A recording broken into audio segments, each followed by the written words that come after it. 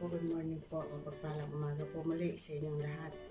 Ito po tayo muli at nagbabalik ah, sa po ulit tutorial lesson about sa, sa pagluluto. Meron po ako dito bumili ho ako sa kapitbahay namin kasi tuwing Sabado po nagkakatay sila ng baboy.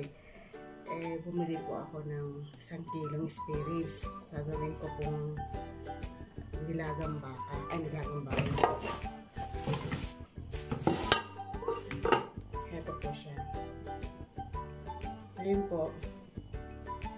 Ah, papalambutin muna po natin sa kalangli uling para po less po sa gas kasi mahal ang gas na mahal ang gas ngayon eh. Kaya po papalambutin ko po sa labas. Papakita ko lang po sa inyo kung paano po ako maglaga. Alam ko po marami sa, sa atin na alam kung paano maglaga pero po ito po ay mamaraan ko kung paano po ito ilaga para matanggal yung pinakalansa ng baboy. Ito po mga kasep. Una po, na ano ko muna po siya. Nagasa ko muna po siya. At binabad ko po sa may asin para matanggal po yung pinaka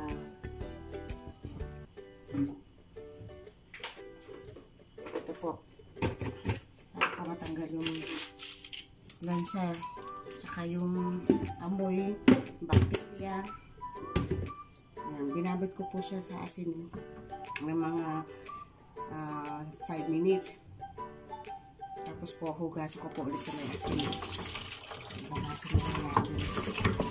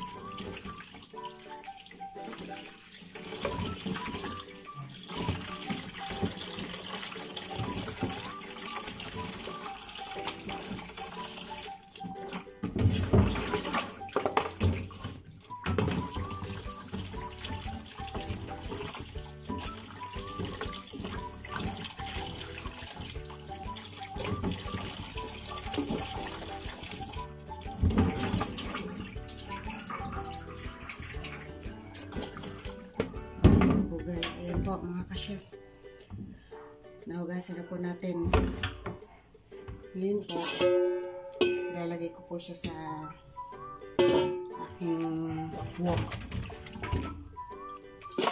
Para po atin po makalambutan. Masarap po ito kasi bagong katay kaya hindi po siya masyadong matigas. Ah, punta po tayo. Palambutin ko lang po to sa talang diuling ko. Ah, mamaya po pakita ko sa inyo kung paano po pag-procedure ng pagpapalambot dito. O, ayan po, mga ka-chef. Ito po, nagpa-uling na po ako. Ngayon po, ilalagay ko po itong pwede uling ko. Ilalagay ko po ngayon itong baboy. Hintayin po natin siyang mawala ng tubig. Hintayin muna siyang natin lumambot. At saka po natin lalagay yung mga secret na pampatanggal lansa. Teka nga po, eh, siguro sa iba hindi na po secret dahil alam na po ng iba to. Pero po ito, yung pamamaraan po po ng para matanggal po ang lansa ng ng ating nilulutong karne. Balikan po natin ang mga pag, pag po nawala na po ang tubig, tsaka po natin balikan. Thank you po. A few moments later. Ayan po, tinakpan po natin. Nakahanap po ako ng maayos-ayos na takip. Balikan po natin muli. A few minutes later. Ito po mga ka-chef, buksan po natin, tingnan natin kung ano na.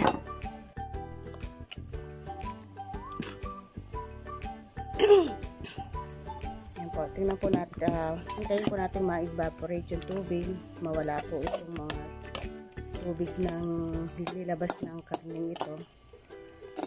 Kasi po, ginagawa natin ito para po matanggal po yung mga dugo-dugo ng karne. At saka po para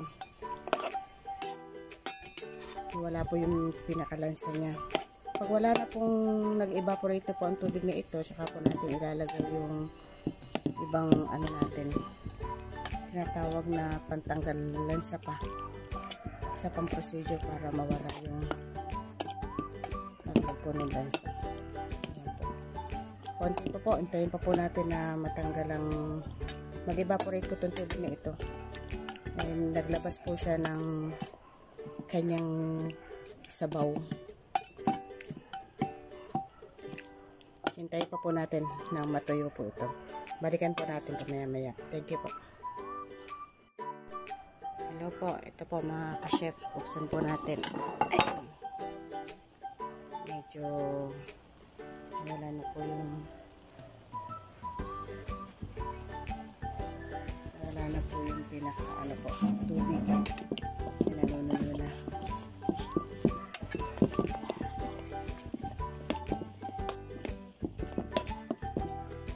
po atin siyang lagyan ng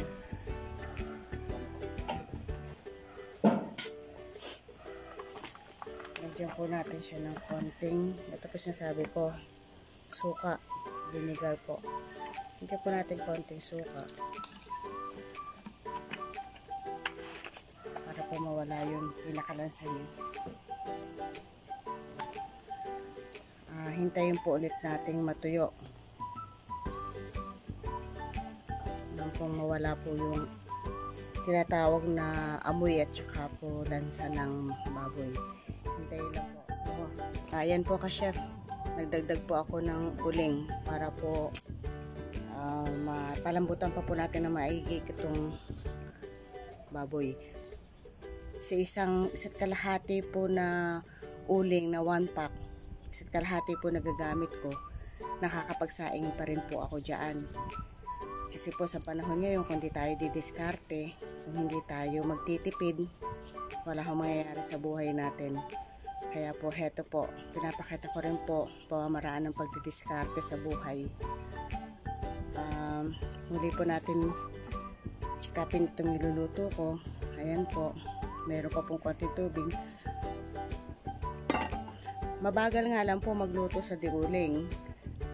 Pero po worth it naman po kasi laki po ng tinipid kapag po nagpapalambot. At dito po ako nagsasaing din.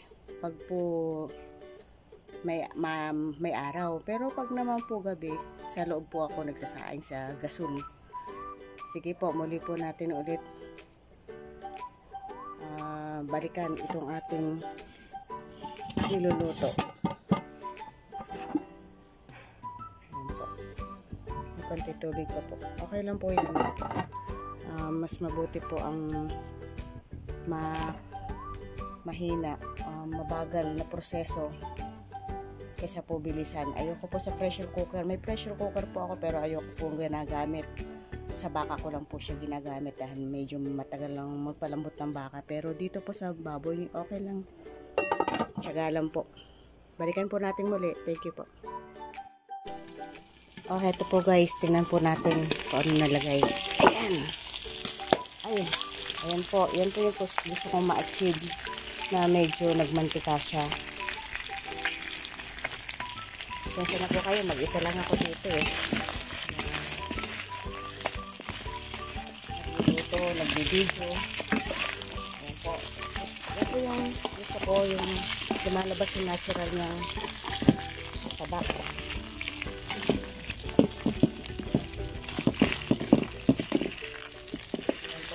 Nagdipit na.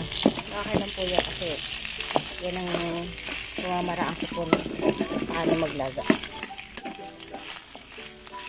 Ngayon po, atin po siyang lagyan ng tubig.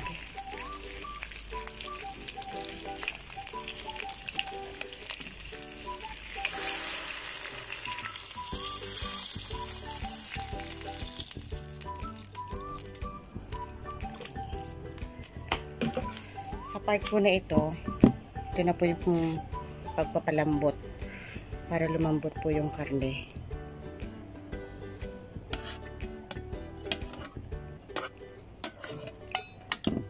Ayan po. Hintayin po natin na lumambot. Kasi matigas pa yung karne. Hintayin po natin siguro mga isa't kalahating oras po ito or isang oras. Pan po natin muli. At hintayin po natin siyang lumambot ulit. Tomorrow. Ayan po guys, ah, ka-chef.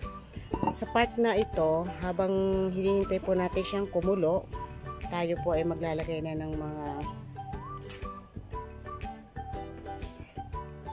mga ingredients. Ito po. May sibuyas po tayo, 4 cubes, uh, whole corn and then rock uh, rock corn then peppercorn, sorry po, at saka po salt. Yan, samasamahin lang po natin dyan.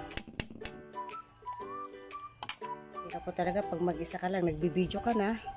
Ikaw pa itong nagluluto. Ayan po. ah medyo lagyan po natin ng konting patis.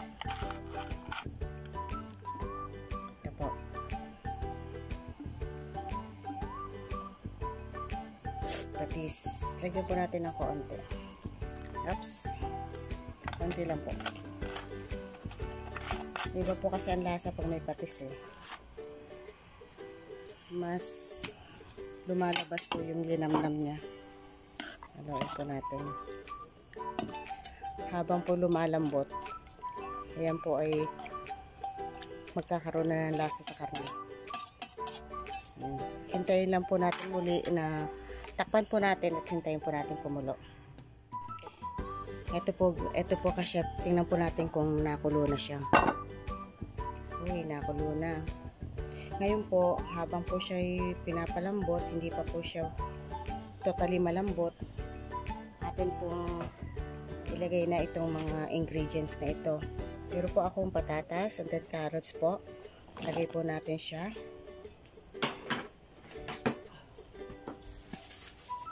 Po, Haluin natin.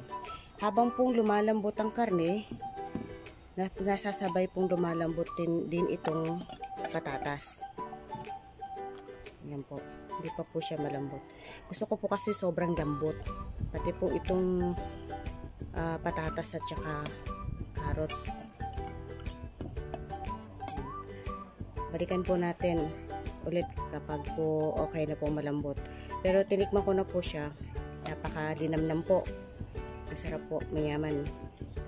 Salamat po muli. Balikan po natin ulit ng mga 30 minutes pa po. Thank you po. Ito po mga ka-chef. Tingnan po natin muli kung okay na siya. Ay! Ito po, nilagay ko po yung sili. Naputol po yung video eh. Pasensya na po. Hindi ko po masyado siyang i i-overcook yung sili kasi gusto ko po may crunchy pa. Ito po, patitikimin ko dun sa anak kong bunso. Kung pasado. O, bunsa. Wala po. Yung araw, masarap agad ah. Hipan mo, mainit. Tara, ay nahulog. Katawa. Ayun na. May nahigop ka ba? Mukhang wala yata. Meron. Ang sarap. Grabe, sarap po. Talaga.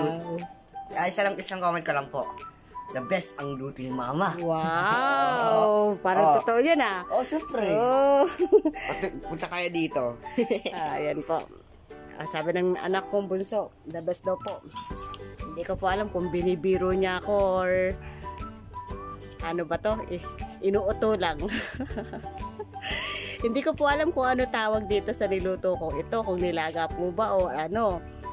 Ito po kasi ay natutunan ko po sa isa kong kaibigan sa sa, sa, sa ibang bansa po kasi meron po ako doon dati po akong OFW short lang po, maliit lang po yung yung panahon ko doon. Pero po marami po ako naging kaibigan doon. At isa po ito sa niluto niya na nagustuhan ko. At hanggang ngayon po since 2015 ah, until now po ah, niluluto ko pa rin siya. Natikman ko po siya noong 2015 nung nagpunta ako sa ibang bansa. Ah, nagustuhan ko po yung luto niya kaya naman po ako ay nag napatikman ko po sa mga anak ko, sa pamilya ko kung ano po yung natutunan ko doon. At nagustuhan rin po nila. Kaya ayan po, lagi ko po siyang niluluto rin. Kaya sinare ko rin po sa inyo, hindi ko po malaman kung ano po tawag dito, kung ito po ba'y nilaga o ano, hindi ko po alam. Hindi ko po naitanong sa kanya, basta kain lang po ako nung time na yun. Ah, sige po. Balikan po natin. Lilipat ko lang po sa loob para po doon po tayo magkausap muli. Thank you po. Ayan po guys, ah, ka-chef. Ah, tapos na po tayo magluto. Sa susunod po muli nating episode, kung ano naman po ang ating maisipang lutuin, ating po ito isi-share. Ito yung munting kaalaman ko lang po about po sa mga natutunan ko sa pagluluto. Gusto ko lamang po i-share sa inyo. Alam ko kung lahat kayo, alam na ninyo yung mga lutuin na ito. Eh, ito lang po yung munti ko pong nakayanan na ma-share sa inyo. At dati po kasing ginagawa po ito nung kasamahan ko noon eh. Kaya gusto ko rin po i-share sa inyo itong ano na. Pasensya na po kung paulit-ulit yung mga sinasabi ko kasi medyo ah, mahiyaan po kasi ako sa, sa camera pero na-overcome ko naman po unti-unti. Hayaan nyo po at pagbubutihin ko po po sa mga susunod po po ng mga video. Ah, muli po akong nagpapasalamat sa mga viewers.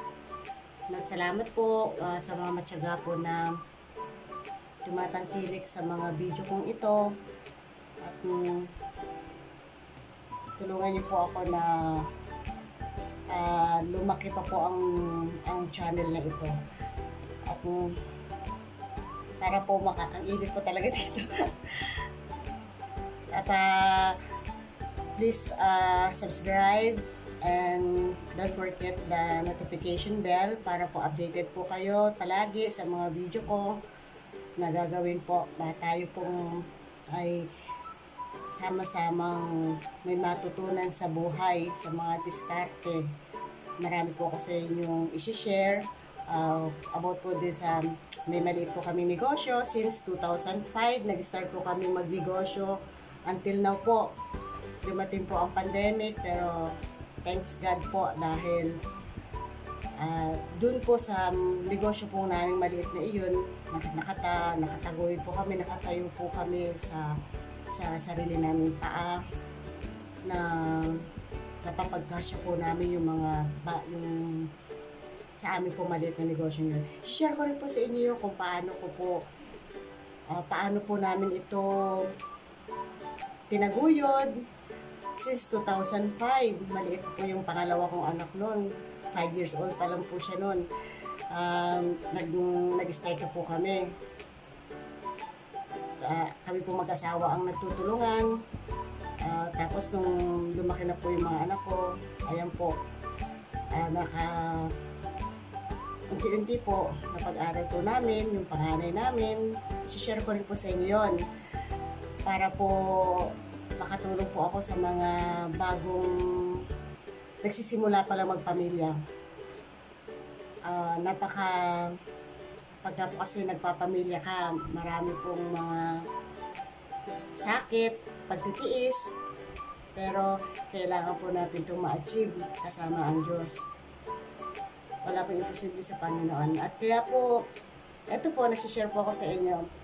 At ah, sa susunod na mga video ko po, share ko naman po sa inyo yung negosyo po namin. Yung pumamaraan ng, ng negosyo namin, yung ah, mga ingredients. Kasi marami po mga suki po nagtatanong kung ano daw po ba yung mga ingredients namin. Sana naman ma-share namin to. Kaya po, heto na po yung mga suki namin na magsasubscribe ikukuha po namin, isi-share po namin ito, yung secret ingredients sa, sa mga sa negosyo po namin. Salamat po muli. Pasensya na po at yun nahihiya pa po ako. Uh, Pagtisay niyo lang po ako. Salamat po na marami. God bless po. Bye-bye.